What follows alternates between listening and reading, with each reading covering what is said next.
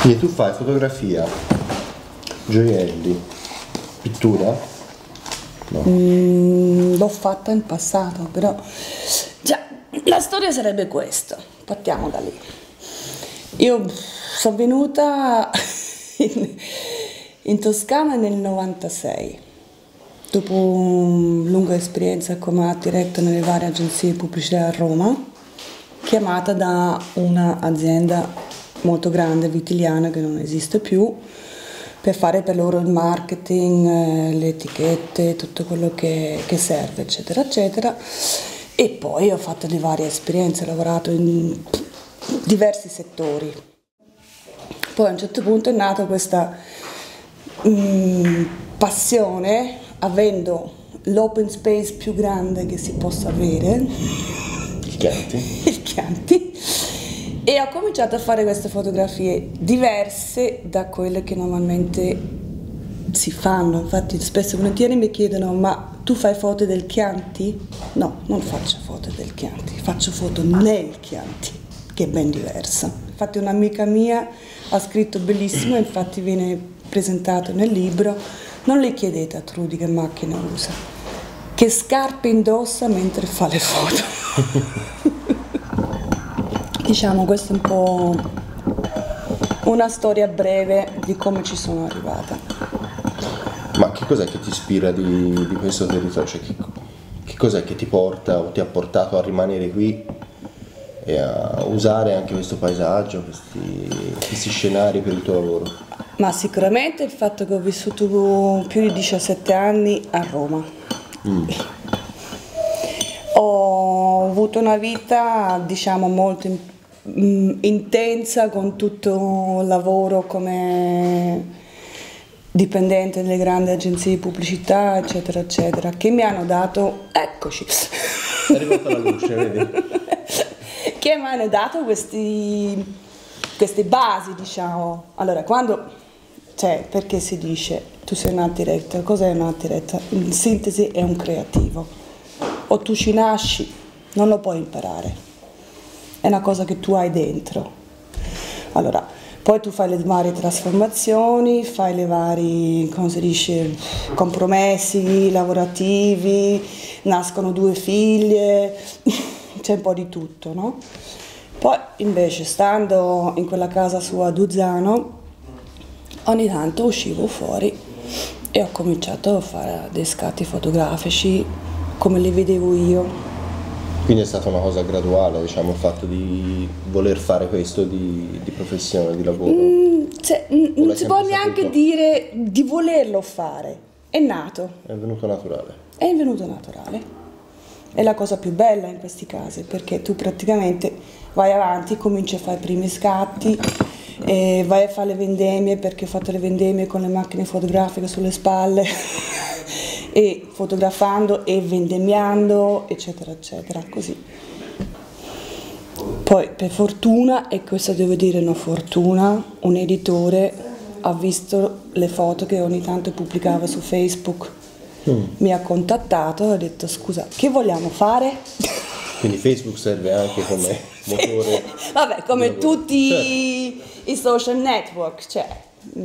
E da lì è nato questo fatto. Prima un libro che è molto particolare, che infatti si presenta con la presentazione anche della Loredano Furno, che è la prima ballerina del Teatro Stabile di Torino, insieme al suo coreografo e con altri che hanno fatto la prefazione. Si chiama Chianti Ballet. Uh-huh. È molto particolare come libro tra l'altro eh, interpretato con quattro illustratori che quello che avevo visto io come in realtà si, si parla di tronchi di, di, di, vitigni vecchi che assumono delle forme che ricordano appunto la danza esatto. il balletto sono per me erano ballerini e da lì poi ho coinvolto questi quattro illustratori di cui ci sono anche dei nomi abbastanza grandi come Roberto Perini, quello del male, eccetera, eccetera.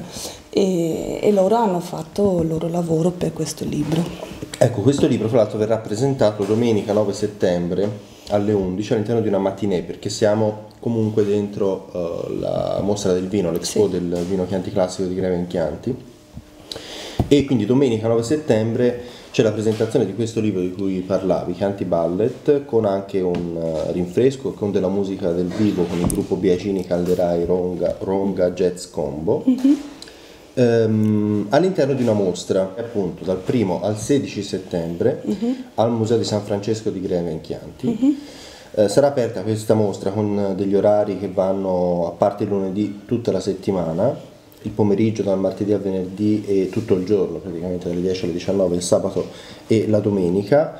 Um, e eh, appunto ci sono tre eventi sostanzialmente, la inaugurazione del primo settembre, questa mattinée con presentazione del libro domenica 9 settembre e poi c'è appunto il 16 di settembre eh, Domenica, sempre. sempre. domenica, sempre alle 11, quindi anche qui una mattina diciamo, c'è questa anteprima di una collezione collezione di, di, gioielli, sì. di gioielli, che si chiama Spirali Vitali. Mm-hmm. Allora, come nasce anche questa idea delle spirali vitali? Spirali vitali nasce dal fatto, eh, sempre mh, passeggiando in mezzo a, a vigneti, mh, mi sono accorta che spesso e volentieri usano delle stecche di bambù che aiutano in mezzo alle vari paletti che tu hai di già per sorreggere la vigna che cresce certo. spesso anche orizzontale. Cosa fa la vigna? Ah, si artociglia. Attorno a queste canne di Esatto. Mm-hmm. E nell'autunno, dopo la vendemmia, cosa succede? Queste parti diventano legnose. Poi muoiono, cioè, però rimangono lì intorno a questo bambù. Mm-hmm.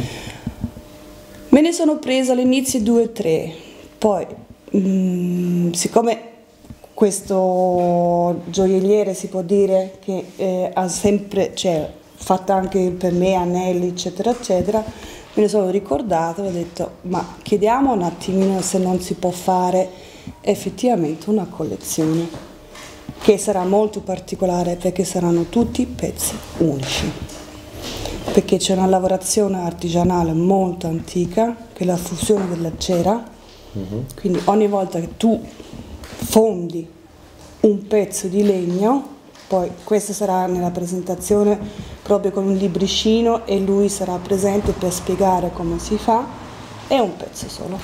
Trudy, allora fra le immagini che ti rappresentano e che saranno credo anche in mostra appunto dal 1 al 16 settembre al Museo di San Francesco di Greve, c'è questa immagine che tu hai scelto, credo anche come tua immagine personale, che diciamo ricorda un sedere tu lo chiami in un altro modo. Mm, allora, e, e, qualcuno scusami, ci vede un sedere, qualcuno ci vede qualcos'altro. Qualcos'altro, va bene. Però diciamo che la, la cintura, sì. quella potrebbe essere una cintura, a me fa pensare più a un sedere. Sembra quasi una foto costruita da, da te o comunque da, da qualcuno. Mm, Ci mm. racconti velocemente la storia di questa immagine? Allora, mh, mm, innanzitutto io non costruisco né altro le foto, mm. cioè anche se sono in pratica eccetera eccetera, io faccio dei scatti così come sono e questa è una storia carina perché eh, giravo mh, mm, su a San Cresci e c'erano queste due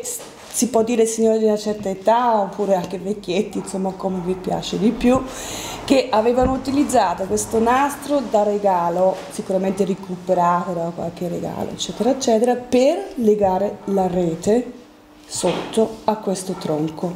Ora questo tronco ha questa forma particolare, ma non è costruito, è così. E come mai l'hai scelta come tua immagine?